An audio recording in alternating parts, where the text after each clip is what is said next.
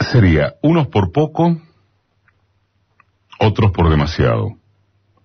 Y una menudencia, con tanto de hipocresía como de ingenuidad.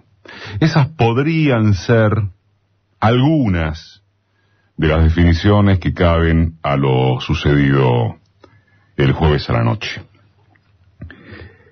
El poco atañe a quienes, desde el gobierno y sus alrededores, minimizaron por completo la magnitud de la protesta. Y en verdad, al margen de las discusiones bizantinas sobre el número aproximado de manifestantes, fue mucha gente, mucha gente. No provino con exclusividad de los barrios acaudalados y no fue solo en Buenos Aires. Vamos, ¿eh? con ese mismo volumen de muchedumbre, si es del palo, decimos que fue imponente. O por lo menos que revela la fuerza popular del modelo, siendo que ella lleva casi 10 años. Y también es veraz que el origen estuvo en las redes sociales, porque no podría haber sido de otra forma a partir de que la oposición dirigencial no existe. Este último dato, en gran medida, es lo que lleva a desmerecer la convocatoria porque su proyección sería nula al carecer de quienes la articulen. Pero eso no significa que deje de prestarse la atención. Si es verdad que siempre volveremos, como dijo la presidenta, también lo es que siempre amenaza la existencia de un núcleo de derecha activo en más o en menos según las épocas, y conformado por factores de poder que se nutren del privilegio propio junto con la tiringuería que les hace el coro.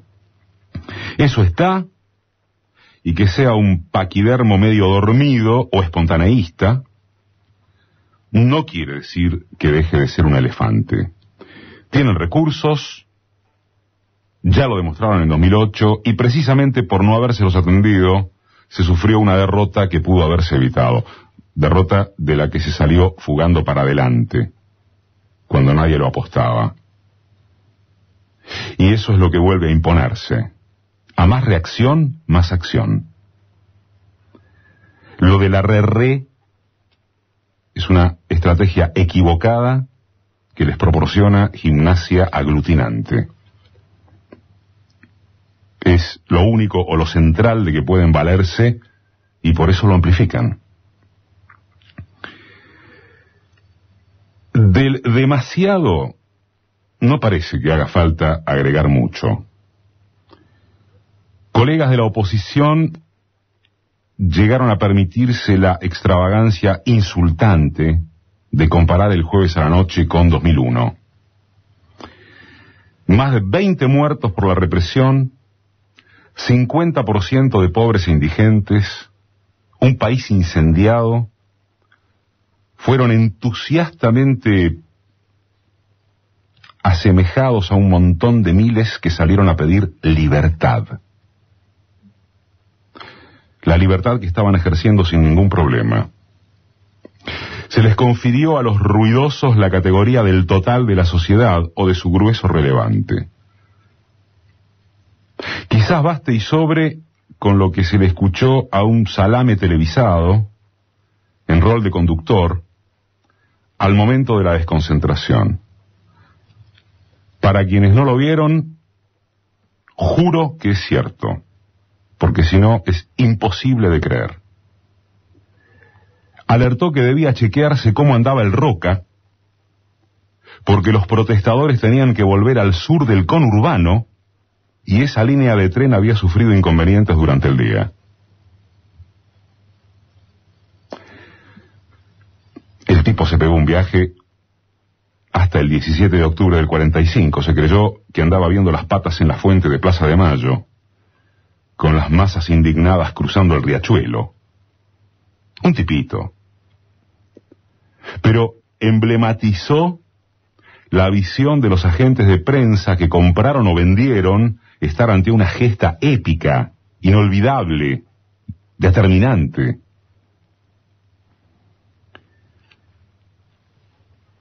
Y queda el tercer aspecto que se cuela entre estos extremos de los que ningunean lo ocurrido y quienes le otorgan un valor histórico. Es un componente que viene desarrollándose hace cierto tiempo, estimulado por el discurso de los medios opositores. En todo caso, el cacerolazo lo potenció. Los reaccionarios orgánicos se valen de él porque es una fachada que les permite predicar sus intereses sin retruque probable, al ser un argumento cuyo mentís es de altísima incorrección política. Pero también, con certeza, habrá los preocupados legítimos. Por ejemplo, gente agotada o inquieta frente al hecho de espaciar relaciones o directamente perder amistades, porque cada vez que salta lo político, y no hay forma de que no salte lo político, por un lado por otro y más temprano más tarde, los choques son irreconciliables.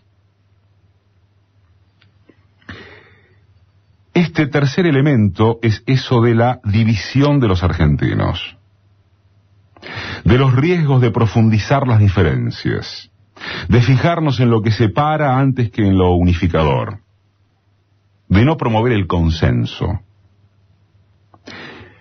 Eso de que la confrontación es buscada adrede y no como producto del intercambio de ideas. Eso de que pueblo dividido es sinónimo de sociedad que no avanzará nunca. Eso de que en una democracia no hay enemigos, sino adversarios. Pues bien, uno ya está harto de estas boludeces monumentales y cree que es hora de salirles al cruce, porque de lo contrario se asienta un embuste que impide debates serios. ¿Desde cuándo resulta que la política no es conflicto invariable y progresivo si es que realmente hay pugna ideológica y no una escenografía institucional de cartón? ¿O es tan difícil darse cuenta de que estos sectores afiebrados por la necesidad de diálogo, vamos a concederles candor, son el árbol genealógico de la oligarquía, de las masacres de toda nuestra historia, de las dos toneladas de bombas sobre civiles indefensos en junio del 55, cuando parió la violencia, del genocidio del 76, del sultán riojano que añoran, de la deuda externa que socializaron, de la propiedad agropecuaria nacida en cada oreja de indio entregada a las huestes de roca. ¿De qué diálogo y de qué dictadura hablan? Así que el pueblo fue y es su enemigo, pero para el pueblo deben ser sus adversarios democráticos.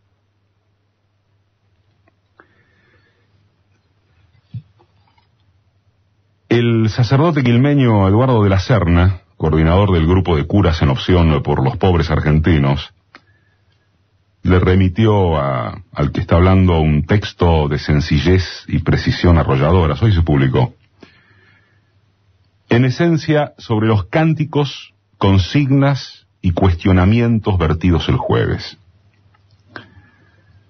En su mayoría, aunque lícitos de expresar, eran totalmente individuales. Y cita, cita lo que vimos y escuchamos todos.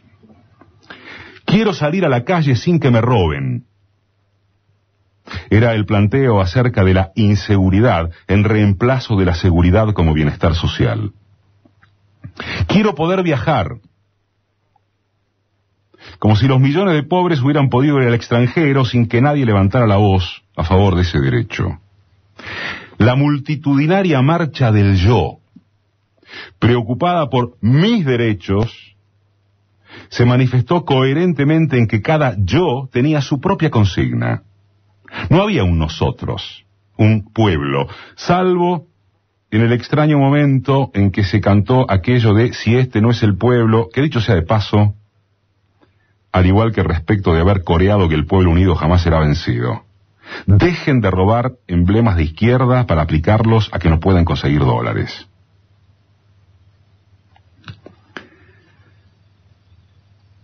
Decía de la Serna, pocas cosas me parecen tan clásicas de la clase media argentina, una parte, por favor, como su amor al yo, el mismo de Sri el mismo del yo argentino, del no te metas, del por algo será, del en algo andaría. Multitudinarios yoes que pareciera que nunca pueden mirar un nosotros. Hace ya 200 años que estamos habituados a convivir unos y otros. Puerto y pueblo, civilización y barbarie, blancos y negros. De proyectos se trata. Pero mientras unos insinúan siempre el deseo del voto calificado, otros proponen ampliación de derechos aunque los calificados o clarinificados no tomen nota. Total, se han copiado siempre. Puede agregarse que cuando hay muchas consignas, termina no habiendo ninguna. Como no sea una expresión de mal humor, de odio de clase, finalmente de impotencia. Vamos a terminar este editorial, estas líneas en primera persona, como es de estilo y pertinente aclarar cuando un periodista, más aún en rol opinativo, se dispone a violar una regla básica de la profesión. Me importa una infinita cantidad de carajos y no soy más grosero solamente para no abusar del efectismo, tener el más mínimo grado de consenso con esta gente. Casi desde que el mundo es mundo, el mundo se divide en clases. Y en las más postergadas, por obra de las dominantes de la pirámide, y sobre todo en las medias, que son el jamón del sándwich, hay franjas asimiladas que hasta salen a la calle para defender intereses que no les son propios, sino de quienes las sojuzgan. Ante esa verdad incontrastable se puede creer que vale convencer a los privilegiados y a sus loritos por vía del diálogo, siempre desparejo gracias a los medios de comunicación que pertenecen a la clase de punta. O practicar el centralismo democrático, de dar la batalla a través de los hechos, tal y como toda la vida hicieron ellos. No quiero saber absolutamente nada de pacificar relaciones con esta gente. Nada. No quiero ni diálogo ni consenso con quienes vociferan yegua, puta y montonera. No quiero. No quiero sentarme a soportar ni por un solo segundo a los que quieren para Cristina el final de De la Rúa. Me repugna que salgan a manifestar los que hace poco más de diez años canturreaban que entre piquetes y cacerola la lucha era una sola, porque les habían pasado la cuenta de la fiesta de la rata. No quiero saber nada con esa gente que a la primera de cambio apoyaría el golpe militar del que ya no disponen. Quiero tener con ellos una profunda división y concentrarme en de cuál manera se garantizaría mejor que se hundan en el fondo de su historia antropológico nacional, consistente en que el negro de al lado no porte ni siquiera el derecho de mejorar un poquito. Porque eso es lo que lo jode. Quiero a esa gente cada vez más lejos, y cuanto más los veo, más seguro estoy.